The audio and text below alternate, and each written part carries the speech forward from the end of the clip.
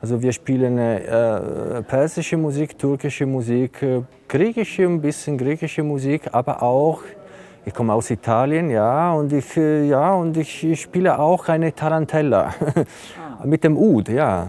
Ein Ud ist diese Laute, diese Laute, diese, äh, ja, ja, ich versuche immer mit diesen Laute, ja, diesen Ud, äh, verschiedene Musik zu spielen. Ja. In Berlin habe ich habe ich ein paar, ein paar Band und mit einer Band zum Beispiel spiele ich bayerische Musik. Bayerische oder Tango-Musik, äh, also wir sind sehr international, sagen wir. Das ist schön.